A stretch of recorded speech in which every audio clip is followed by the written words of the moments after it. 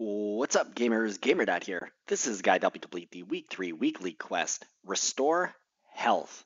If you haven't subscribed to my channel yet, please do hit that subscribe button and show me that support. And don't forget to use my creator code in your Fortnite item shop. It is GamerDad, all one word, all capital letters, and I do greatly appreciate your support. So, for this challenge, you need to restore or regain a total of 250 units of health. This does not include shields. I'm sure that's obvious for some, but for newer players that may not be so obvious. So the health bar is at the bottom. This shield bar is on top of that. So the blue is shields, green is the health bar. When it's at 100, it doesn't go any further.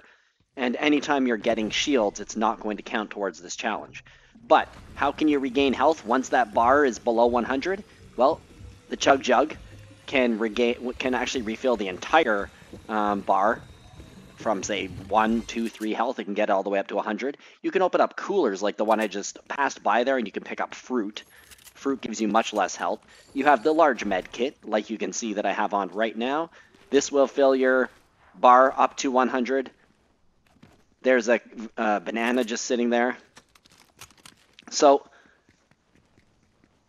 there's um, things to consider. Those are the small bandages there. They can also be used to restore health. So you can't restore health until you reach 100. So there's two ways to do this. You either are going to be fighting people and you're going to take damage and then you're going to heal up, or you're going to inflict the damage on yourself. And this is a good way to kind of do this challenge in a controlled manner. So you can see I, I built up a, uh, a ramp and I jumped off. And then I used that banana to heal myself. So I already know that I got like, I had like 33 or something damage when I walked off. So I knew that if I jump off, I'd take a bit more. And again, I basically jump off one more time. I don't want to jump off something without knowing how much damage I'm going to get because I don't want to die from fall damage, and it is possible.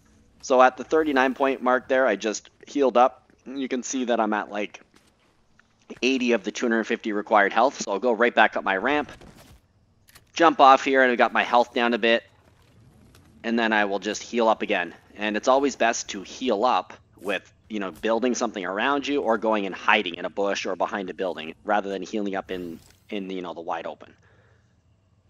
So at this point, I'm at 150 of 250 health restored. Here's a case where I'm taking actual damage, not inflicting it on myself. I was hoping to use this dynamite to take this person out, but they were getting the better of me.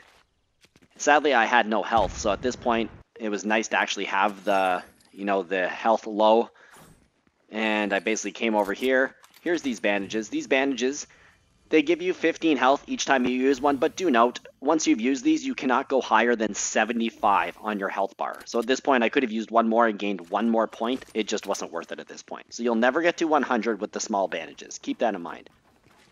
So I'm going to um, I was going to try and show that you could jump off this house, but it is much easier to do this challenge jumping when you can build. So I jumped once there. I'm going to go back up one more time. I'll jump again. And then I will heal up using my med kit. And then my challenge is going to be complete. So in fact, even at this point, I know I can actually sustain one more jump. Here we go. So there, I'm down to 15.